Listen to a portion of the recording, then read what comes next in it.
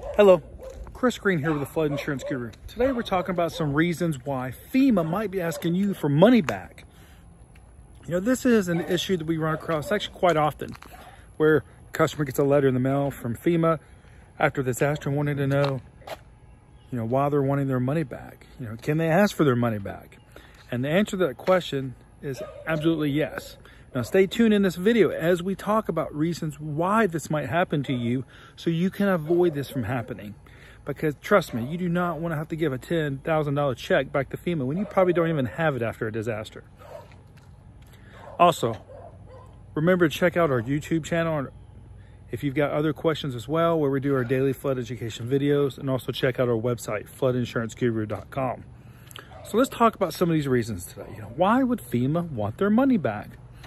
Well, there's really three main reasons here when it happens. First of all, it was given by mistake. This actually happens more often than you think it does.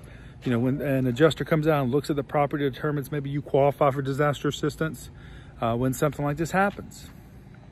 Or it was given inappropriately. Or the funds were used inappropriately, more than likely. And then the third reason is fraud. So let's talk a little bit about these so we talk about inappropriately used. You remember, FEMA has strict guidelines on how these payments can be used and what they can be used for. So if they're not used within these guidelines, FEMA can't ask for their money back. You know, does FEMA make the mistake of giving people money during a disaster that shouldn't have it? Absolutely. You know, it can happen, especially after a disaster and when you're dealing with thousands of people who may have lost everything. It's not out of the norm. So then what about fraud? Well, if you misrepresentate the information that you're giving to FEMA. You tell FEMA one thing when it's really another one. This could fall into fraud. This could be another reason why FEMA is asking for their money back. So these are just a few reasons of why FEMA might want their money back after a disaster. You know, can you appeal this? Can you fight this? Absolutely. You normally have within 60 days of the date that's on the denial letter and one of the common things is that gets denied is the primary residence. Remember, if it's secondary residence, generally you're not gonna get disaster assistance there.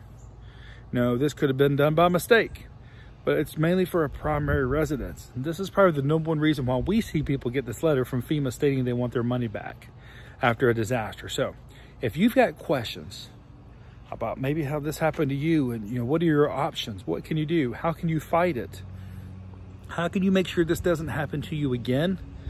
As I said, make sure to visit our website, floodinsuranceguru.com. Remember, we have an educational background in flood mitigation, which means we can help you understand flood risks like this right here, your flood insurance, and mitigating your property long term to help you minimize flood losses and flood premiums. Thank you.